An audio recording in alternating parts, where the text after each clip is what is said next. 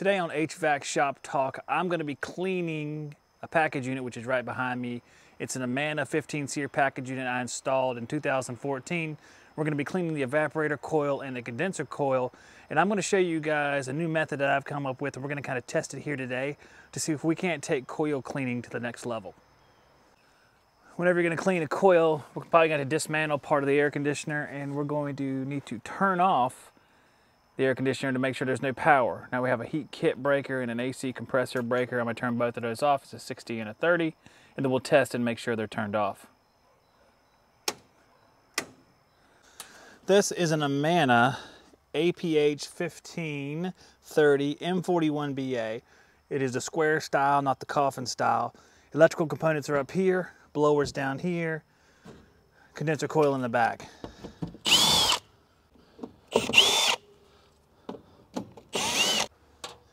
Kind of have to be careful for the drain connection.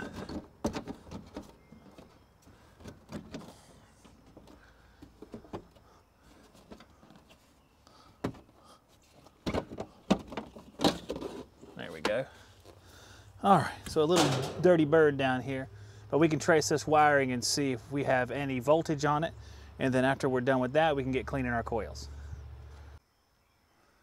We're going to check the connections of the contactor and we're going to check them at the top because that's where the field wiring comes in. And we're going to check each side to ground. We have essentially zero volts. And then on the other side, we have zero volts as well. We'll check in between them. We have zero volts. And this is the contactor relay. We're checking alternating current. So we have no power there. Let's drop down into the heat compartment. We'll check power there as well on the other circuit. This compartment at the bottom is for the heat kit. These two knockouts are for breakers that are optional. And I have to find that screw now.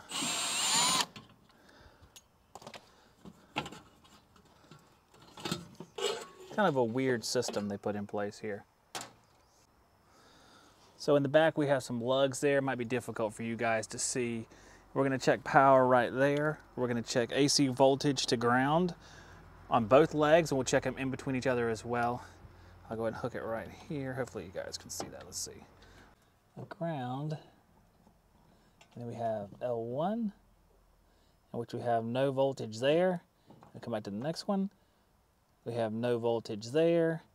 And we have no voltage in between either one of the legs. So what we're going to do is, since this compartment is open, I'm going to go ahead and vacuum out this compartment as best I can with the shop vac. That way we can go ahead and clean it up and then we can clean up the condenser compartment before we do the coil cleaner.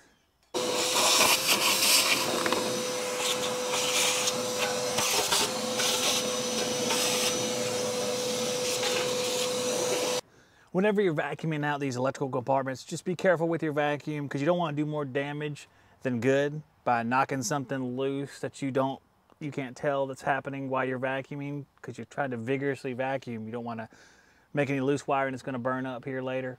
Uh, but now that I'm done with that, I'm going to take top panel off of this machine and the side panels off and we're going to vacuum everywhere we need to and then we could start the rinsing process and coil cleaning process.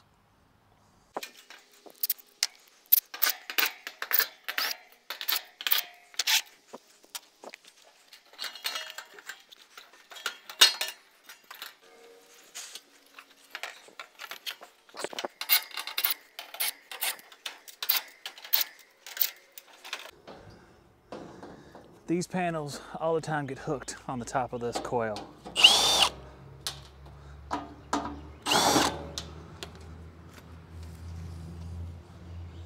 What we do is take off these side beams, these firms, and then we're able to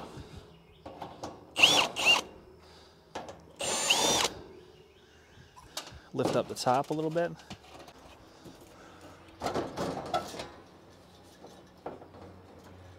you can see. It's a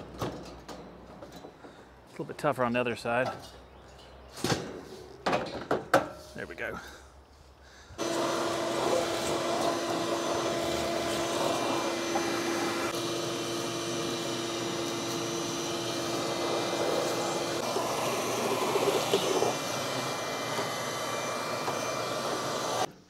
When getting down inside of the condenser opening I use my big shop vac. I'm actually use this PVC pipe and kind of connect it to the end of the shop vac tubing so I can easily get into crevices without having to deal with a bunch of flexible hose. Some of you might see this as a redneck fix, and that's what it is. And if you spend some more time, you'd find a perfect fitting hose. But what I'm doing is just doing a temporary thing so I can vacuum down deep inside of the condenser.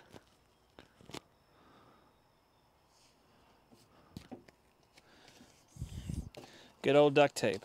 But I want it to be a little bit more rigid than that. So, just gonna put an old drill bit right here, just like a splint. I would suggest that you guys find a vacuum hose and piece of PVC that work well together and you can make a manifold or I'm sure there's probably an apparatus available on the market, but this will get me by for today. So let's dive in there deep and get all the junk out of there.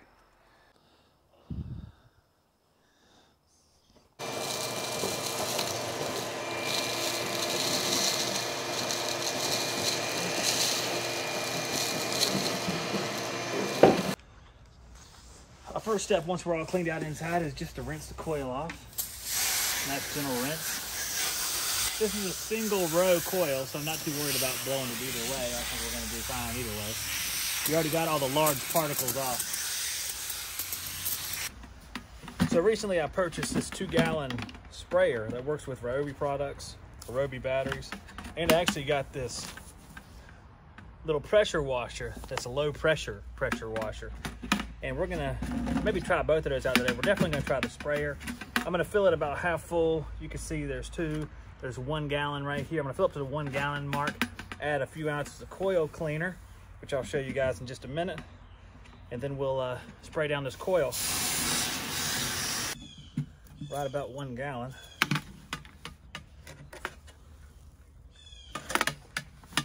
What I have is I have this these Viper packs, pure concentrate. It makes eight gallons of coil cleaner. And it looks like, as far as the use, the cleaning type, if you have extreme cleaning, extreme duty, it says 12 ounces or one and a half cups. This is gonna be light duty, so four ounces. I'm just gonna pour just a tiny little bit in there. Uh, you wanna measure it out. I am not measuring it out this time because I'm just putting a very tiny amount if you can imagine 12 ounces for the heavy duty stuff, that's a whole soda can's worth. That's a lot of coil cleaner. These Viper packs are made by Refrigeration Technologies.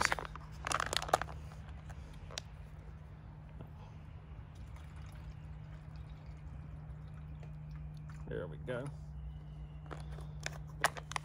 And this one is called, again, Maximum Strength Brightener and Cleaner. And it says non-acid high foaming. So we're going to find out if that's the case.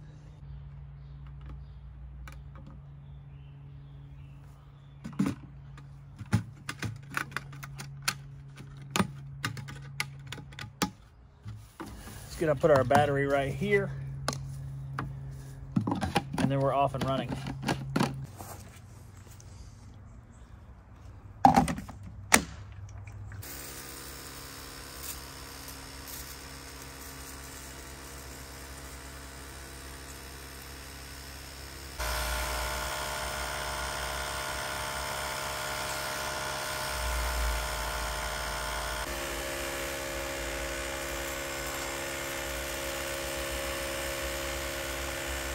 It doesn't look like we got a whole lot of foaming from the amount of coil cleaner I put in there, which wasn't a whole lot, which explains the lack of foaming. Maybe just a little tiny bit here, but we're about to wash it all out. We're gonna give it a couple minutes to do its job, and then we'll wash it all out, and then we'll move on to the evaporator coil. While we're waiting, I think I'll try out this pressure washer on those louver doors. All you need is a bucket of water, and you can drop this pressure washer in there, and it gets about two 300 psi pressure, which isn't a tremendous amount as far as pressure washers go, but it might be enough to clean off these doors and do a lot of the tasks and not bend any fins while doing them.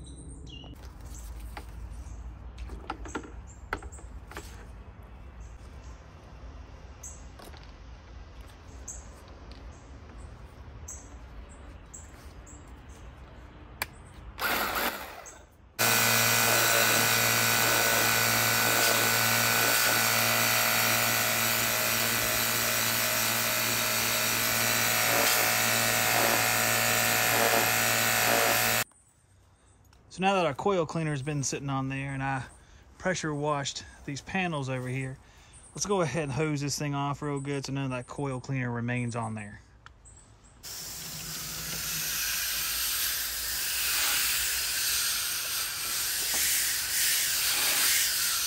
All right, gentlemen, let me see if this Ryobi pressure washer will cause any damage to these fins just in a light testing.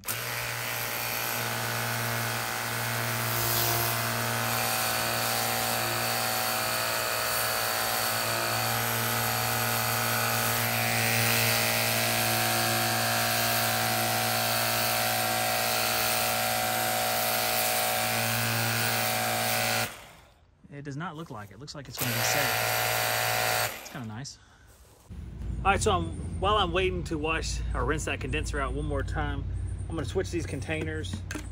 I'm gonna take off sprayer from the condenser cleaner and I'm gonna seal that up. I think there's a stopper somewhere around here, I hope. I see there's a stopper on this one. And then uh, once I seal it up, I can go ahead and I can keep this in here for the next job because I have multiple tanks. I'm gonna put some evaporator cleaner in this container, which is maximum strength Venom Packed evaporator cleaner, non-rinsing enzyme technology. Same thing on the back. For extreme duty, 12 ounces. For light duty, four ounces.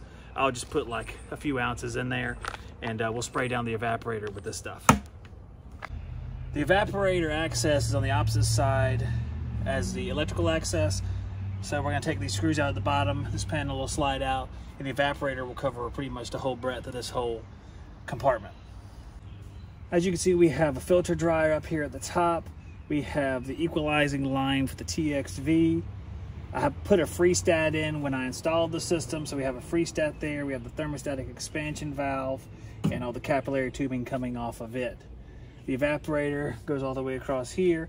This is a no rinse cleaner, so I'll be able to spray it on and then just leave it there.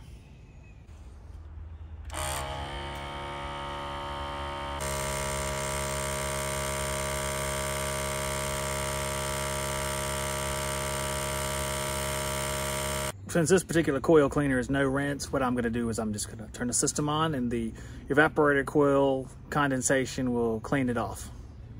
If you wanna watch more videos just like this one, click on this playlist right here. If you wanna see our brand new video, click right here. If you wanna find out more about the great sponsors that make this show happen, click up here. And to join our email list where I notify you when we're going live, click right here.